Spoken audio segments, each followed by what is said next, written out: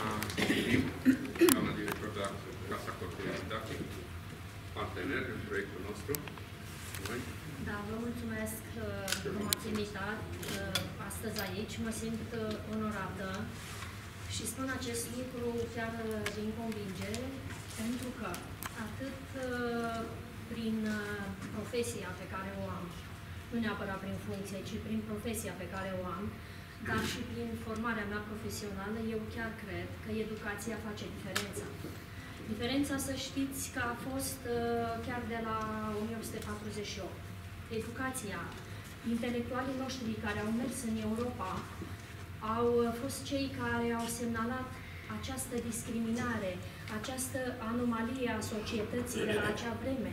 În programele revoluționare, uh, sclavia romilor era semnalată și se punea problema să fie eliminată, era considerată injustă și orice formă de discriminare creează probleme în societate.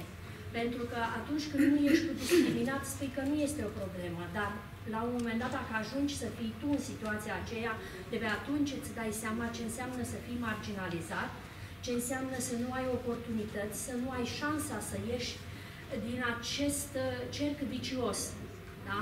Și de asta revin la educație. Astăzi este uh, un moment în care, din nou, trebuie să spunem că educația va face diferența că istoria trebuie să ne ajute să învățăm și este foarte important ca astfel de activități să fie organizate, pentru că astfel semnalăm problemele și împreună, vedeți, împreună pentru memorie.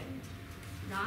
Memoria, istoria este memoria noastră, dar împreună o aducem în actualitate și încercăm să mai facem pași pentru a aduce uh, această minoritate romă pe calea educației, astfel încât cu pași mai mici sau mai mari să poată să uh, toți, uh, toată populația de etnie romă să poată să facă școală, să aibă o meserie și atunci vom discuta din altă perspectivă această problemă.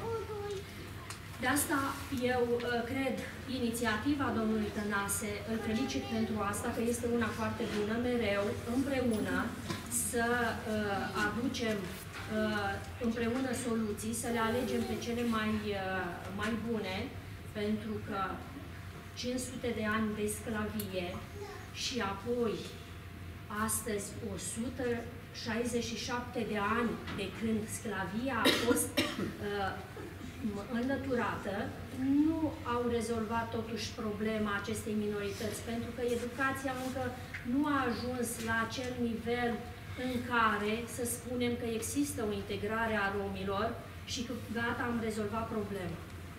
Generația noastră, îmi permit să fac o comparație cu generația pașopistă, ei au pus uh, un fundament dar iată, de-a lungul timpului tot s-au clădit la acest edificiu care să ne facă pe toți egali. De fapt, despre asta este vorba, despre egalitate, despre oportunitate și integrarea tuturor. Toți suntem cetățeni români și toți trebuie să ne bucurăm de aceleași drepturi.